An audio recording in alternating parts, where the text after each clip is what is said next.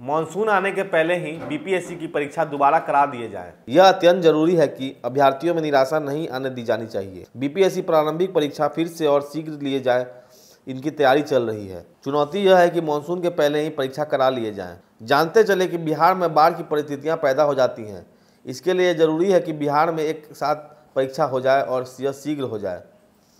परीक्षा के लिए प्रश्न पत्र तय करना, उनकी गोपनीय ठिकानों पर छपाई और जिला कलेक्टर के माध्यम से गोपनीय तरीके से केंद्रों पर प्रश्न पत्रों को पहुंचाना, यह सब जटिल काम है। इसे भी भरोसे के वातावरण में करना और जटिल है। परंतु इसी तरीके से लाखों अभ्यर्थी और करोड़ों विद्यार्थियों का विश्वास बहाल होगा। बीपीएससी की प्रारंभिक परीक्षा कुछ सालों के बाद कराई जा रही है। कई अभ्यर्थी वर्षों से परीक्षा की तैयारी करते करते इस अवसर को पाते हैं। इस बार परीक्षा दो वर्षों के बाद हो रही थी।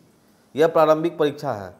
इसमें लाखों अभ्यर्थी ऑब्जेक्टिव टाइप के प्रश्न हल करते हैं। इस परीक्षा में आधा एक घंटा पहले पेपर का लीक हो जाना बहुतों के लिए परीक्षा को भ्रष्ट करने का अवसर देता है। परीक्षा संचालक किसी भी अभ्यर्थियों को परीक्षा पूरा होने के पहले सेंटर से बाहर जाने की इजाज़त नहीं दे सकते हैं। आरा में भी कुछ दूर दराज के विद्यार्थी काफ़ी किराया खर्च करके आए थे और निराश लौटे। बिहार में युवा वर्ग हज़ारों की संख्या में आपस में स्टडी सर्किल चलाकर परीक्षा की तैयारी करता है।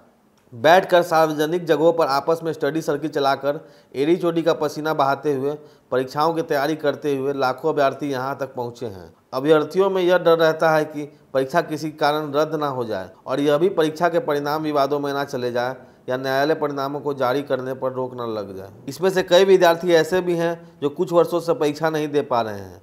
दो वर्षों से परीक्षा के नहीं होने के कारण, योग्य और मेहनती होते हुए भी लाखों निराश विद्यार्थी हैं। निराश अभ्यर्थियों में से कई ने योग्य होते हुए भी प्रतियोगिता परीक्षाओं का इरादा छोड़ दिया है। किसी भी राज्य के लिए गैर भरोसे का यह वातावरण बहुत ही बुरा होता है।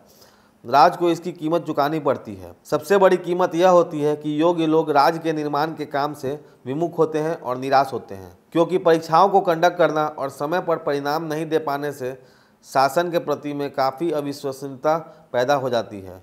बीपीएससी कैंपस में इस बात को लेकर बेचैनी है कि जल्द ही दोबारा परीक्षा करा लिए जाएँ और परीक्षा मानसून आने के पहले ही करा दिए जाएँ।